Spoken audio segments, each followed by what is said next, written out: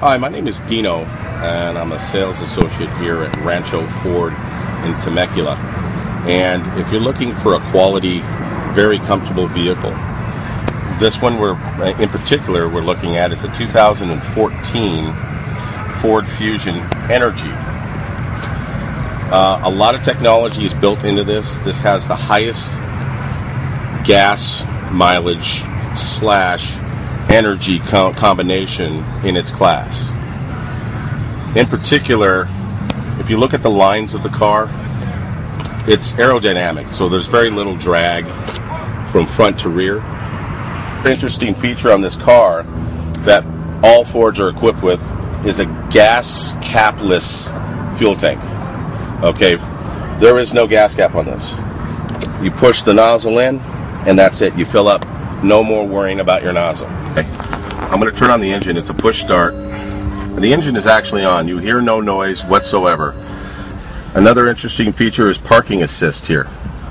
This is this is awesome. I, I this is this is great. I mean, only a few car makers are doing this, and they're usually the high-priced ones.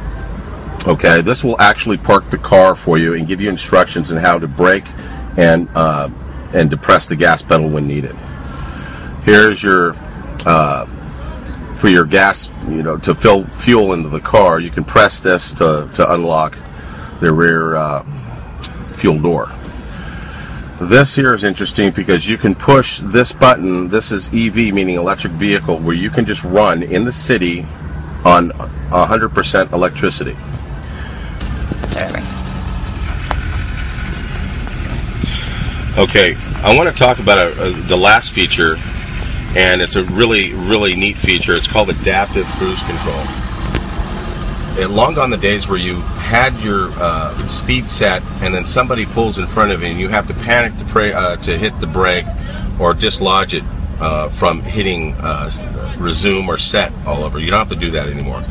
This will sense when somebody violates your space in the front and you're at 65 mile an hour, it will automatically brake for you.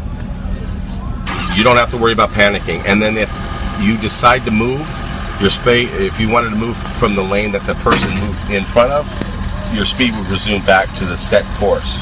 A, a smart control or an intuitive control.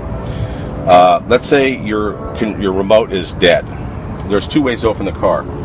From from the panel here, you'll have a code that comes with uh, with the car, whoever buys.